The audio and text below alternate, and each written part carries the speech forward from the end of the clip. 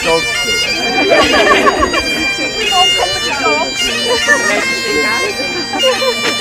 Nice these people, Maggie. Are, you, all living in? Yes. Are you all helping her as well? Is? Uh, my, my, my grandad. Is, yeah. is she, is she in there?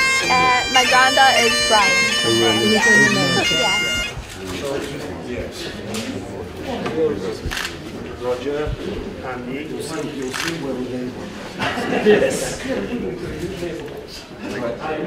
Their heads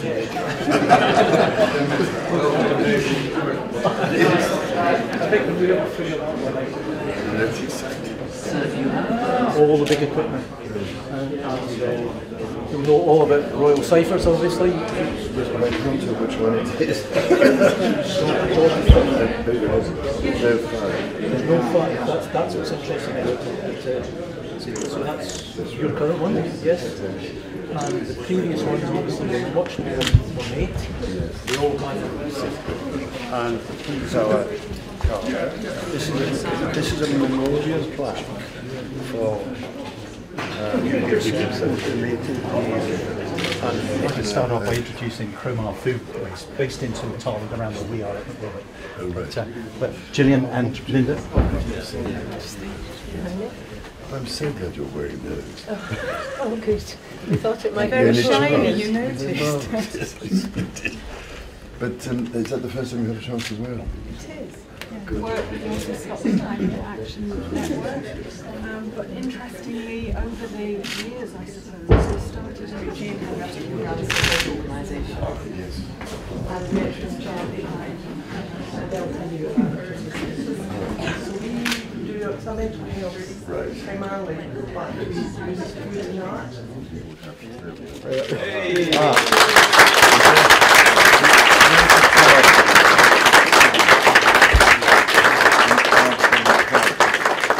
Right, so, um, no, Tony Tony Atherton that you you met downstairs. Yes.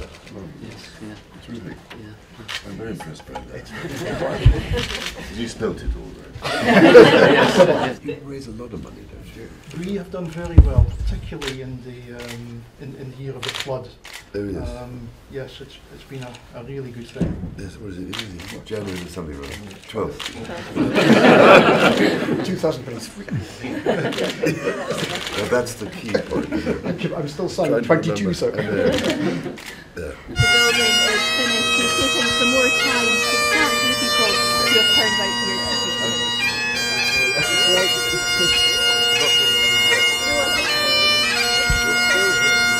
it's taking some more time. Uh, no, but it's just across the river, just there, yes. Yeah. All the buildings want to be there, but no badges hold, they seem to know that the badge.